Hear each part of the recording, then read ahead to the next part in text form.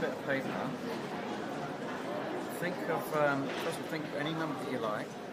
So think of one number, be one number. If you think of two numbers, write two numbers. Think of three numbers, write three numbers. Don't make it too small, a bit larger than that. Not too small, yeah? I'm going to do this one back to turn, you write your numbers there, and then just turn it above that. Let me know when you're ready.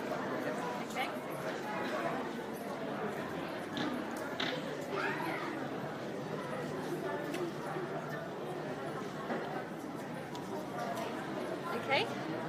Okay, Turned it over. over. Can't see a thing. Now look, I'm going to use the pack to cover my eyes so I can't see a thing.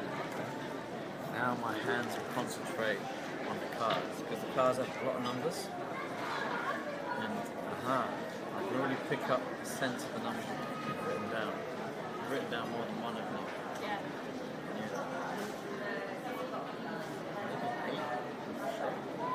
Anyway, we'll, we'll check. Um, you don't need the actual card. You can get rid of that. Now, uh, can you take the pad, give me a little.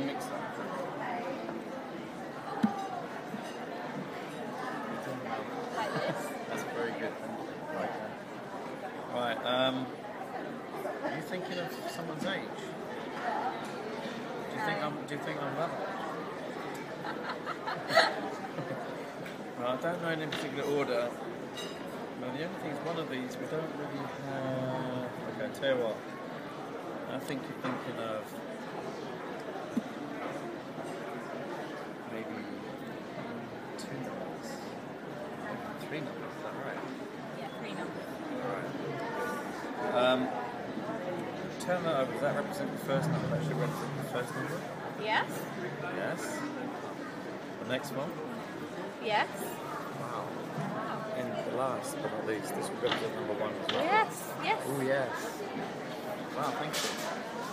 Good, huh? Good. That was Thank you. good.